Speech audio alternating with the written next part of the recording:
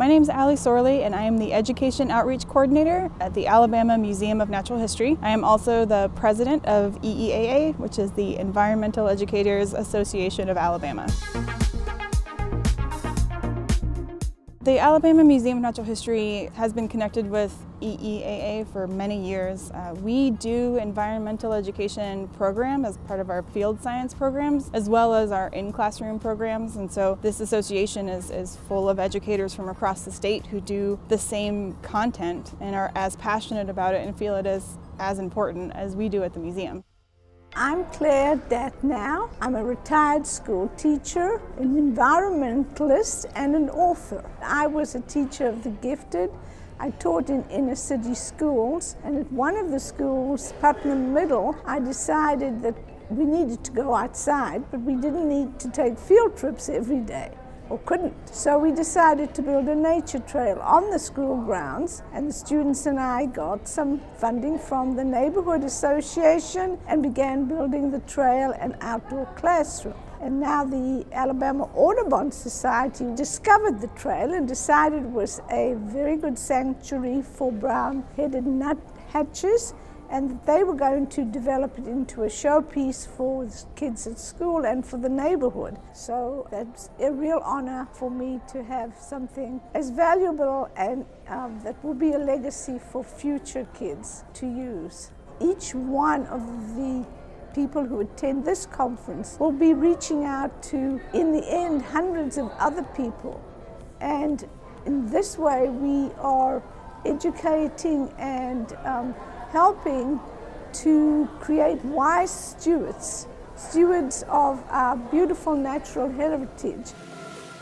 She plans and hosts Discover Fest, a community event where experts share their environmental innovations and demonstrate how young leaders are needed in future jobs, created to celebrate the Discovering Alabama Model School program along with Earth Week, and was heavily involved in Woodland Forest's selection as an Alabama Green Ribbon School in 2018, Woo. and then after that receiving the U.S. Department of Education Green Ribbon School Award.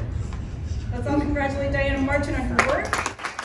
My name's Diana Marchant. I'm the STEM coordinator at Woodland Forest Elementary School. We met Doug Phillips at an outdoor classroom expo and we were kind of looking for things to do a little extra special at our school because we had an outdoor area, a couple acres that were still wooded and we had heard about his involvement in forestry and going out and hiking and things like that and he had some things going with children already at different places. So we kind of cornered him and started talking to him and trying to pick his brain a little bit. And then he turned to us and said, Oh, well, we've been thinking about, or I've been thinking about doing a model school. Would you guys be interested in doing that? And of course, we said, Absolutely, because we're both in Tuscaloosa. So, Woodland Forest Elementary's in Tuscaloosa and the University of Alabama, and the museum's all in Tuscaloosa. So, it worked out as a great partnership being a model school, it gave us some extra permission to do things that we might not have been able to do before. That's the part I like.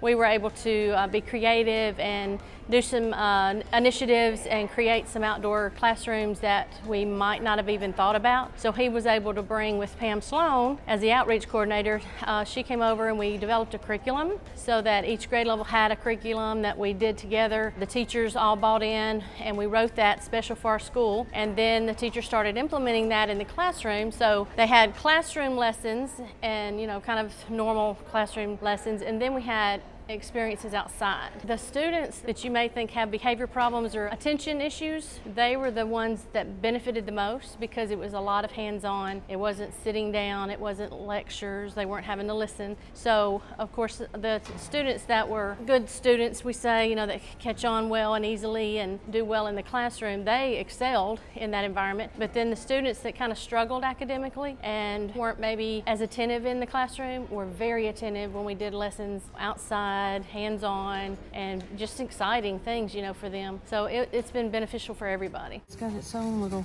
parasite eating at it. I've really benefited from coming to um, this conference for the EEAA because I had my mentor, you know, Pam Sloan in Discovering Alabama, and I had that connection with the University of Alabama, the Natural History Museum. But, you know, we, we did things the way we saw we were doing things. But when you come to a conference like this, there's people from Auburn, there's people from North Alabama, there's people from South Alabama, and there's other people doing things at other schools. So we are collectively able to share our experiences.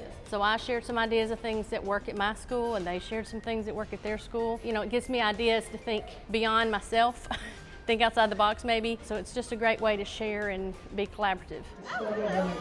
One other reason we really like to come to programs and conferences like this is because we get to see people from all over the state in, one place and we get to learn from them in one space. That we can be a part of outreach events that are happening down south, up in the mountains, all over the place, and then in turn, those sites can come to us. We get to connect with educators so that we can visit their classrooms and bring a little bit of Tuscaloosa and what we teach to their space, but also adapt our lessons for their specific geography and geology and, and, and, ecology that they have in their backyards. And we can do all of that because of the partnerships that are created in, in places like this.